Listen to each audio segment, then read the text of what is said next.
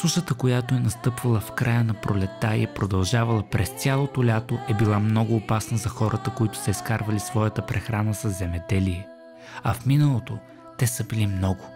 И за да бъде изпекната тази суша и земята да се напои с благотворен дъжд, хората правили обичаи с различна религиозно-магическа основа, чрез които според техните вярвания ще ли да изпратят своя молебен към Господ.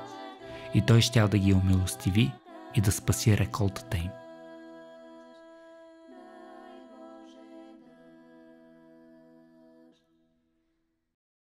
Една форма на обредното изпросване на дъжд е така наречената пеперуда.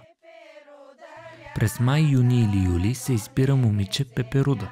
То трябва да е чисто, недостигнала полова зрялост, да е или сираче, или изтърсак, за да се изтърси силен дъжд. Обличат го в риза и на главата му поставят венец от зеленина.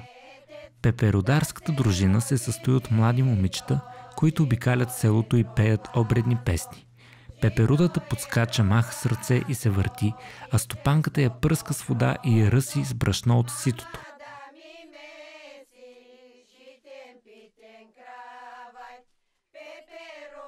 След като обиколят селото, отиват на реката и свалят зеленината от пеперудата. Пускат я по водата, а после се къпят и пръскат. След това в дома на пеперудата се готви обща трапеза с събраните от къщите продукти.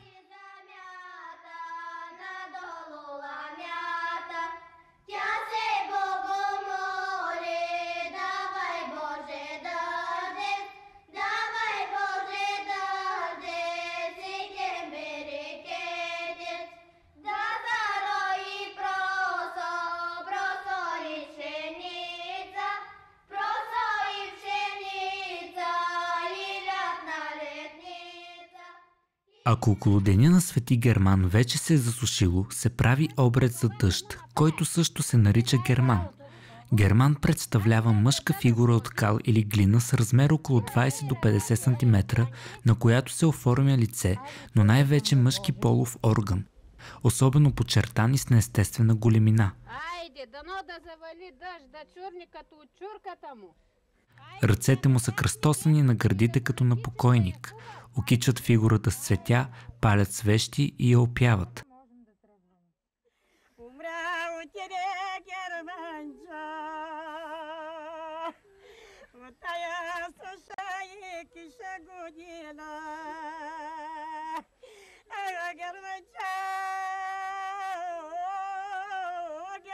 Са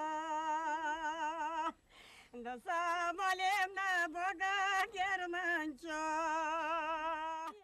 Где Конечно, здоровым Германчо. Горе на Баира или долу в Деретуле. Деретуле, да, где има влага. Где има влага. Да Dasam алемна Бога. Нека да завалидаш. Да има голям береке. Да има палиха.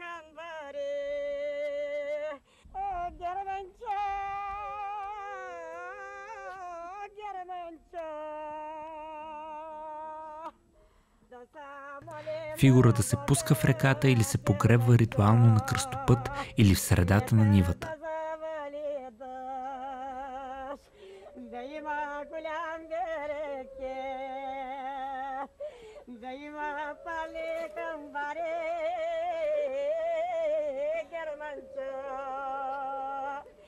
На гробът му се поставя кръст, наричайки го Бог да прости Германа.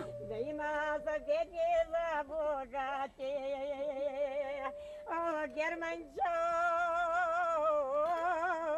Германчо, и за твоите Хайде, Петро, стига плакат, ще стане киша, стига, стига. Ще има голяма киша.